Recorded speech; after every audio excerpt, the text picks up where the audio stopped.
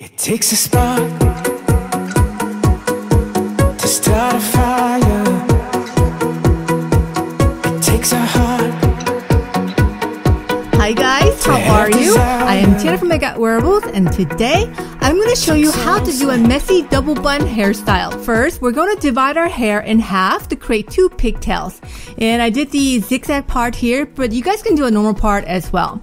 And I'm making my ponytails right on top of my head and not towards the sides as some people are doing because this messy method will make your buns droop to the sides anyway.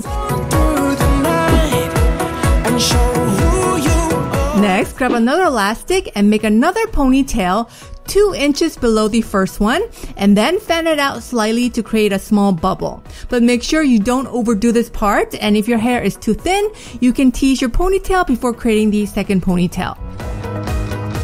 Okay, now create an opening below the first elastic. Then grab the ponytail and pull it through the opening, making sure the second elastic does not get pulled through as well. And then we're gonna fan out our bubble to create our bun.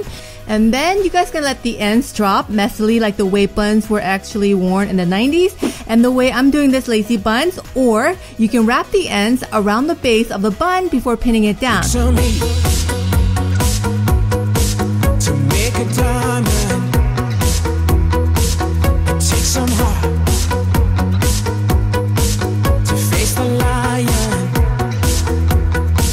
And then I'm gonna go over my part with some eyeshadows to hide my white scalp because my scalp is just so white compared to my hair.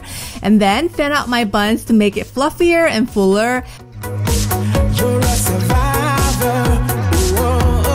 Then tug out some hair on my crown, the back of my head, and around my face to soften up this whole hairstyle. And then play with the ends of my hair so that it looks messy in a very organized, messy way. And we're done. Have you guys liked today's lazy, easy hairstyle? Don't forget to thumbs up and subscribe for more easy hairstyles every week.